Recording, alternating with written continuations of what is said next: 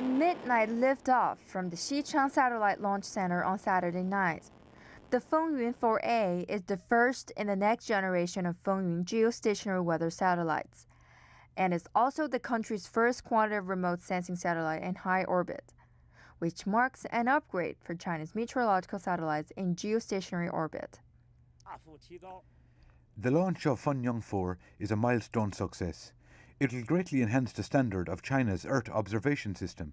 Fengyun 4A will carry instruments for enhanced imaging, vertical atmospheric sounding, lightning mapping, and space environment monitoring.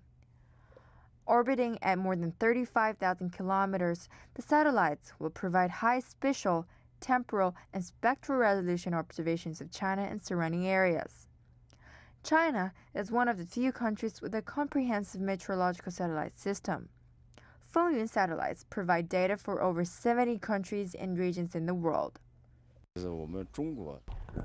The successful launch of the satellites has brought China's observatory satellites into the world's advanced level. And next, we will apply technology to the construction of the Belt and Road project so as to take precautions against natural calamities.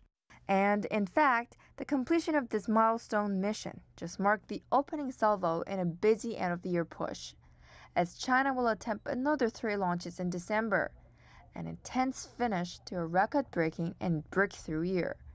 Zheng Chunying, CCTV.